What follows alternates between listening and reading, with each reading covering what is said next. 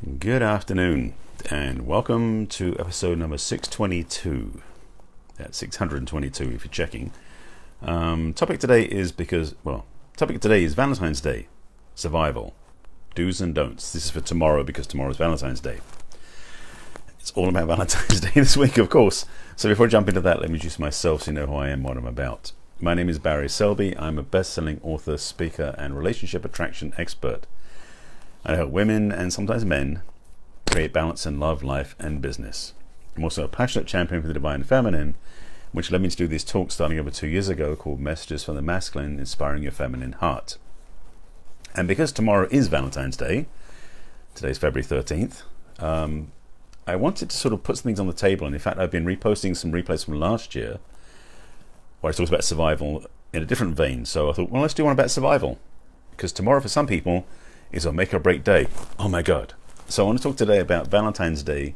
Um, again, episode 622 Valentine's Day survival, do's and don'ts. And this is going to apply to you. Well, I should, I should, I'll speak to people things about, I'll speak to some things about being single and about being in a relationship because there's some do's and don'ts on both sides of the fence. So, with that, oh, quick reminder this is a Facebook Live first in case you're watching this on YouTube. So, if I see interaction with other people, that's because they were on Facebook Live first and then I uh, post this on YouTube. So, if you want to catch me live next time, I'll give you a little information about that at the back end. So, let's jump in. So, first of all, tomorrow's happy tomorrow's Valentine's Day. So, happy Valentine's Day for tomorrow in case you don't catch me tomorrow live when I go live about that day. Um, and I done some, some talks this week. I did, I did actually a couple of expose talks. One was about Valentine's Day for singles. One was Valentine's Day for couples. Um, and I want to re-emphasize some points today, since the day is tomorrow, that might give you some relief, some safety, and some survival skills. So let's jump into this, shall we? First of all, if you're single and you haven't found your person by tomorrow, don't commit suicide. Sorry, I shouldn't laugh about that. Some people take this very seriously, so I'm attempting to deflate some of that because for some people, Valentine's Day is the magical day when they're going to meet their person. The imagination of Cupid running with a bow and arrow going to flick the arrow into them and somebody else, and they'll be in love tomorrow. Don't hold your breath. I talked about this before many times because I'm adamant about this. Is Valentine's Day is not really the day you think it is. It's a Hallmark holiday. So if you're putting all your eggs into the basket of meeting somebody perfect tomorrow, I mean, it might happen, but it might happen just as much as any other day of the year. So please don't put the pressure on yourself that you must meet somebody or your life is ended because you didn't find the right person by tomorrow. Okay? Let's start with that one. So that's on the single side. On the couple side, I was going to call the title of today's talk, but it's now including the talk, If Your Relationship Ends on Valentine's Day. Dot, dot, dot. And the reason why I'm saying that is because some people, their Valentine's Day expression, their Valentine's Day um, gifting and connection, I can say this nicely, is the deciding factor if they're going to stay in a relationship or not. There are people in a relationship that if the person they're with doesn't give them the right thing on Valentine's Day, doesn't do the right thing, even forgets about Valentine's Day, they think it's all over. They're going to quit and leave the relationship.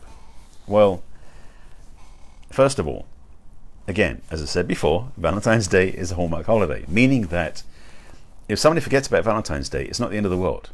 Now, if they forget your birthday or their anniversary, you need to have a conversation, but don't end the relationship on this. And this is the, and this is something else that's leading to this point because if you make your relationship decisions based upon the Valentine's Day experience, you may be in the wrong relationship and you may be the wrong person for that relationship because relationships should be able to survive a Valentine's Day when nothing happens. If it doesn't, you get some serious problems going on. As I mentioned in the in the relationship centric Valentine's Day talk a few days ago, Valentine's Day is a reminder that every day is a day to express love, romance, compassion, caring, intimacy, sensuality, intimate connection, all these different qualities of relationship that a lot of people um, forget about until Valentine's Day reminds them, like, oh crap, it's Valentine's Day. I need to be loving today. Again, if you're doing that, you may be in the wrong relationship. Or maybe you shouldn't be in a relationship if you can't remember to be loving all the time, not just on Valentine's Day. All right, back to the singles for a second. I'm going to ping. I'm, to ping, I may be ping ponging back and forth. We'll see. So, if you are single, and Valentine's Day is not a day to get upset. It's a day to maybe remember that loving is a good thing to do, but not a thing you should do. Not you should think you should do one day out of 365.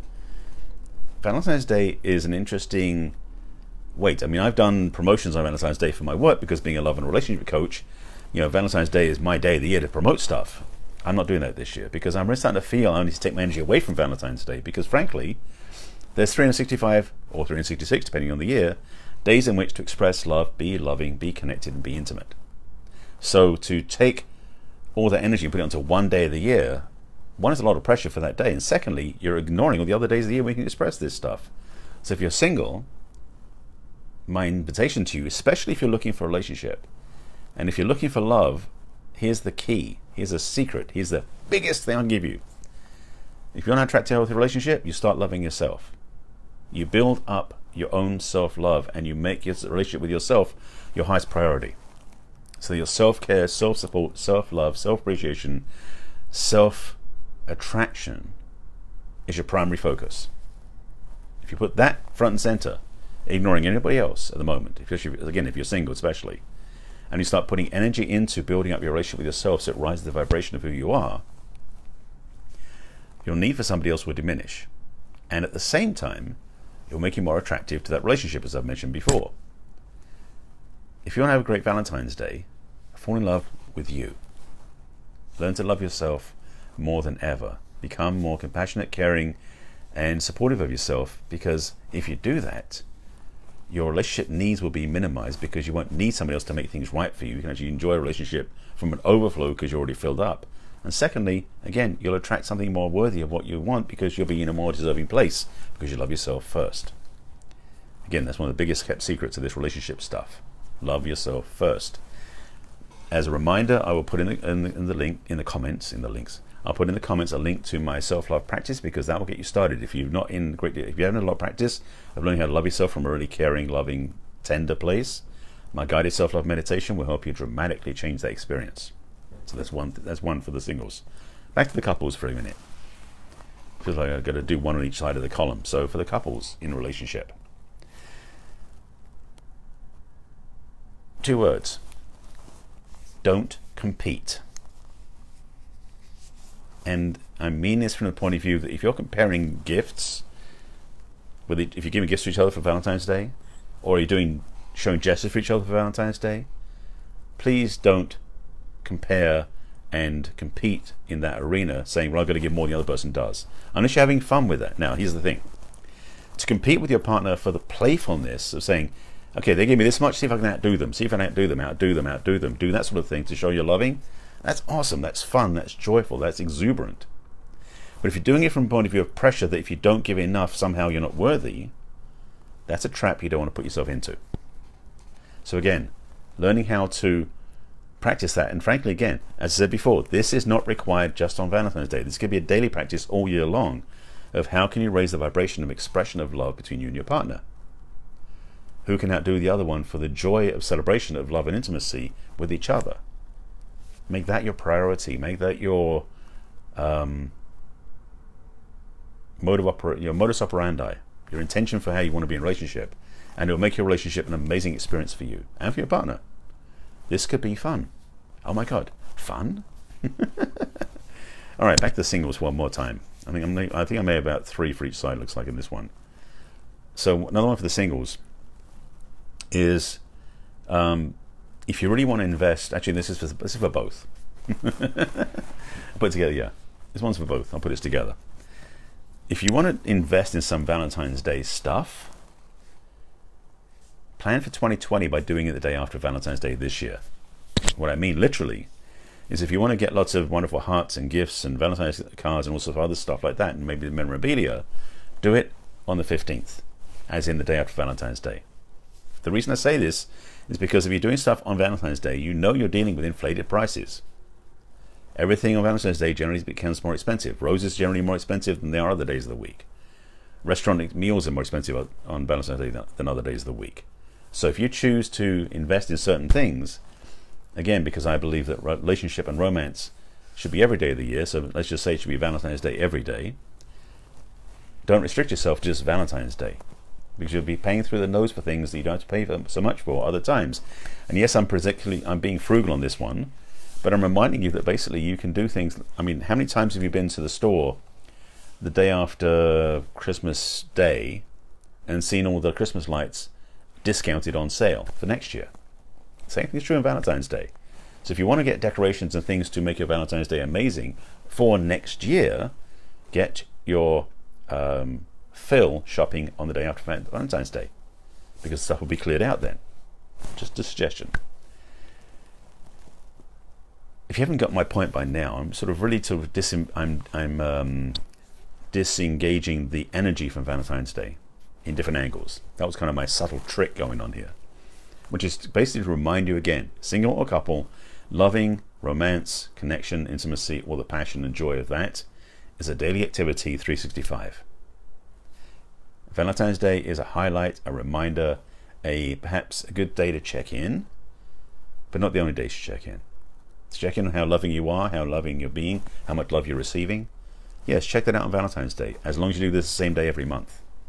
12 times a year at least. Because relationship can't, can't be gauged as a barometer one day a year. That's a, that's a gauge, by the way. So if you're forgetting this and thinking that Valentine's Day is the make or break of your relationship, you may be doing it wrong. And the focus should be, my judgment on this should be, an, a, an ongoing daily activity. Not just Valentine's Day, but every day.